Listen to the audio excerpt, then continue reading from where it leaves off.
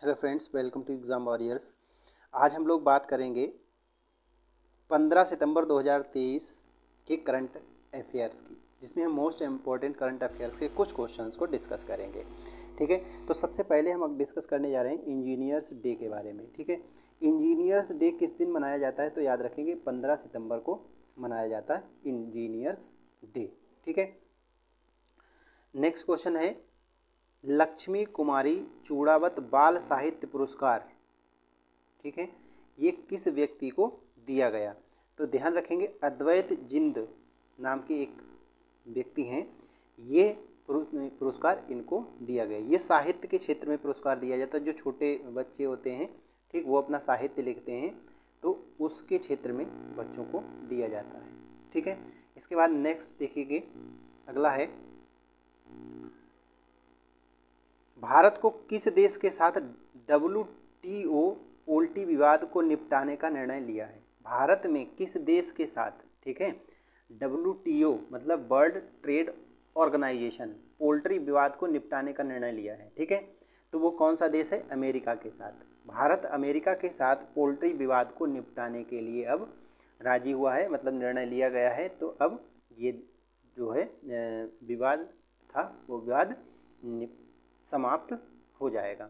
Next है Australia में भारत के नए उच्चायुक्त कौन बने? ठीक है? तो इस समय गोपाल बागले, ठीक? गोपाल बागले को ऑस्ट्रेलिया में भारत का नया उच्चायुक्त नियुक्त किया गया इस बार। ठीक है? ऑस्ट्रेलिया देश में अब तो भारत के नए उच्चायुक्त होंगे, वो होंगे गोपाल बागले होंगे। ठीक है? अगला क्वेश्चन देखेंगे। अगला है, एशिया कप में सर्वाधिक विकेट लेने वाला भारतीय गेंदबाज कौन है? तो रविंद्र जडेजा, ठीक है? रविंद्र जडेजा जो हैं, वो भारतीय गेंदबाज हैं और इन्होंने एशिया कप में सबसे ज़्यादा विकेट लेने का रिकॉर्ड अपने नाम किया है। अभी हाल ही में एशिया कप चल रहा है, जो कि भारत और श्रीलंका में इसका आयोजन किया जा रहा है इस बार, ठीक है? अगला देखेंगे किस कंपनी को सेफ्टी इनोवेशन अवार्ड 2023 से सम्मानित किया गया? ठीक है तो RITES, R I T E S limited, ठीक है? इसको अभी सेफ्टी इनोवेशन अवार्ड 2023 से सम्मानित किया गया। सभी क्वेश्चंस बहुत ही इम्पोर्टेंट हैं आपके सभी एग्ज़ाम्स के लिए तो वीडियो को शेयर और लाइक ज़रूर कर दें। अगला देखिए अमेजोन की ए डब्ल्यू एस ने क्लाउड टेक्नोलॉजी की क्षमताओं को बढ़ाने के लिए किसके साथ समझौता किया? तो अभी अमेजोन ने इसरो के साथ एक समझौता किया है, जिसमें ये ए डब्ल्यू एस के क्लाउड टेक्नोलॉजी की क्षमताओं को बढ़ाएगा। वनडे में दस हज़ार रन पूरे करने वाले दूसरे सबसे तेज खिलाड़ी कौन बने? तो वो अभी रोहित शर्मा बने ठीक है? रोहित शर्मा बने हैं। और यहाँ पर एक क्वेश्चन और इम्पोर्टेंट हो जाता है, अगर आपसे पूछा जाए कि ओडीआई में सबसे कम पारियों में तेरह हज़ार रन पूरे करने वाले खिलाड़ी कौन बने? तो वो बने हैं भारत के विराट कोहली। ठीक है? अगला क्वेश्चन देखेंगे किस भारतीय महिला क्रिकेट खिलाड़ी को 2023 टाइम 100 नेक्स्ट की सूची में शामिल किया गया? भारतीय महिला खिलाड़ी हैं हरमनप्रीत कौर। तो इनको अभी टाइम 100 नेक्स्ट की सूची में शामिल किया गया है। ठीक? अगला क्वेश्चन देखेंगे। सितंबर 2023 में विश्व तीरंदाजी चैंपियनशिप 2023 का आयोजन कहाँ किया जा रहा है? मतलब किस देश में किया जा रहा है? ठीक है? तो वो किया जा रहा है मैक्सिको में। 2023 यानी सितंबर 2023 में विश्व तीरंदाजी चैंपियनशिप का आयोजन जो हो रहा है, वो कहाँ? मैक्सिको में हो रहा है। मैक्सिको की अगर राजधानी आपसे पूछी जाती है तो वो मैक्सिको सिटी है। ठीक है? आगे क्वेश्चन देखते हैं। आगे है, जामिया मिलिया इस्लामिया की कुलपति और प्रतिष्ठित पद्मश्री प्राप्तकर्ता प्रोफेसर नजमा अख्तर को अकादमी क्षेत्र के किस पुरस्कार से सम्मानित किया गया?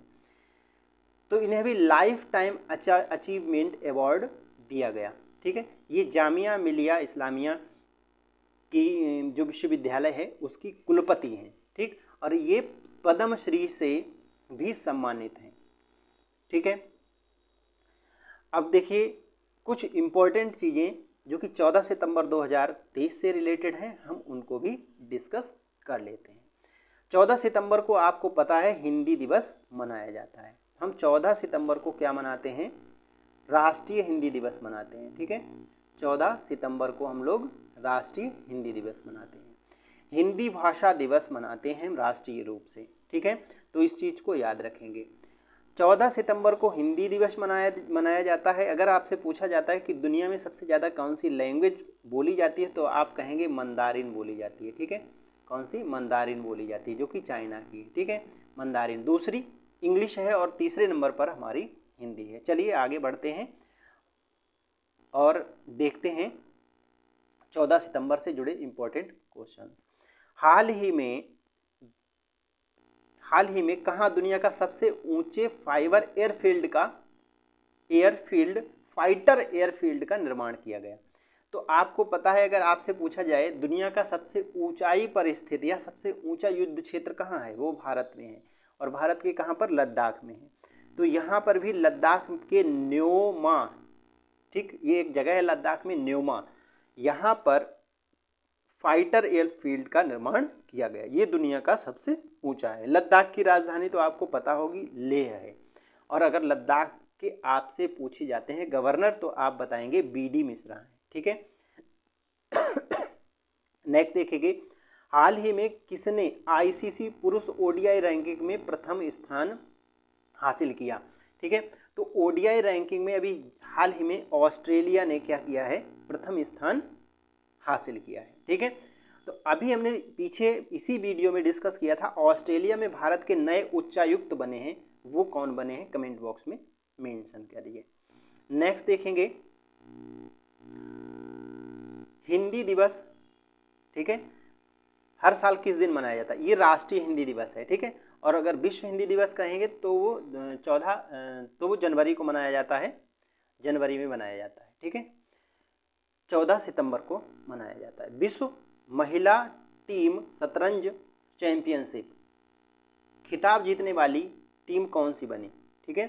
विश्व महिला शतरंज चैंपियनशिप टीम जो होती है उसको जीतने के लिए मतलब किस टीम ने इसको जीता है? तो वो जॉर्जिया की टीम ने इसको जीता है। तो अभी हम लोगों ने वीडियो में, इसी वीडियो में डिस्कस किया था कि विश्व तीरंदाजी चल रही है, ठीक है? विश्व तीरंदाजी चैंपियनशिप चल रही है कहाँ? मैक्सिको में। उसी में प्रथमेश जावकर ने, ठीक है कौन सा पदक जीता?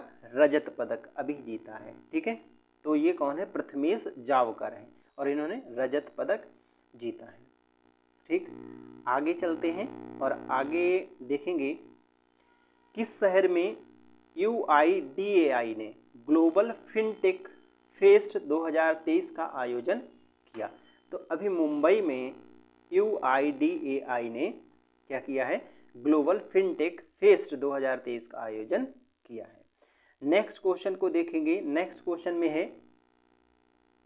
हाल ही में सितंबर 2023 में उत्तर प्रदेश के ग्रेटर नोएडा स्थित Buddh International Formula One Circuit में पहली बार किसका आयोजन किया जाएगा? तो मोटो जी रेस का आयोजन इसी में किया जाएगा, ठीक है? उत्तर प्रदेश की ग्रेटर नोएडा में स्थित एक इंटरनेशनल फार्मूला वन सर्किट है, ठीक? ये भारत का एकमात्र फार्मूला वन सर्किट है, ठीक है? नेक्स्ट देखेंगे, सुब्रतो कप अंतर्राष्ट्रीय फुटबॉल टीम टूर्नामेंट कौन से शहर में आयोजित किया जाएगा, ठीक है? तो अभी बेंगलुरु में, ठीक, क्या किया जाएगा? सुब्रतो कप अंतर्राष्ट्रीय फुटबॉल टूर्नामेंट का आयोजन किया जाएगा, ठीक है? यानी इस, ये क्या करेगा? मेजबानी करेगा। अजीत निनन, अभी इनका निधन हो गया तो ये एक प्रसिद्ध कार्टूनिस्ट थे, ठीक है? ये कार्टून कार्टून के लिए प्रसिद्ध थे, कार्टूनिस्ट थे तो ये अभी इनका हाल ही में निधन हो गया है। अगला क्वेश्चन देखते हैं, और अगला है, किस राज्य ने मुख्यमंत्री लाडली बहना आवास योजना लॉन्च की? तो याद रखेंगे, मुख्यमंत्री लाडली बहना योजना आए या मुख्यमंत्री लाडली बहना आवास योजनाएँ दोनों ही मध्य प्रदेश ने किए हैं, ठीक है? मध्य प्रदेश ने दोनों ही किए हैं। मध्य प्रदेश से अगर आपसे पूछा जाता है कि मध्य प्रदेश के सीएम इस समय कौन है, मध्य प्रदेश के जो सीएम हैं इस समय वो हैं शिव, शिवराज सिंह चौहान, ठीक है? शिवराज सिंह चौहान। अगला देखेंगे। अगला है, किस राज्य ने मॉब लिंचिंग पीड़ित मुआवजा योजना स्टार्ट की? तो मध्य प्रदेश ने ये योजना भी, अभी स्टार्ट की, मॉब लिंचिंग पीड़ित। यानी जो मॉब लिंचिंग होता है तो उनसे बहुत सारे लोग पीड़ित हो जाते हैं और उनका अपना जन और धन की दोनों की हानि भी होती है लोगों को। तो ऐसे लोगों का एक लिस्ट बना के और उनको मुआवजा दिया जाएगा। तो ये योजना मध्य प्रदेश ने स्टार्ट की। तो ये चौदह और पंद्रह सितंबर के इंपॉर्टेंट करंट अफेयर्स थे जिनको हमने आज डिस्कस किया। आप इस वीडियो को शेयर ज़रूर करें।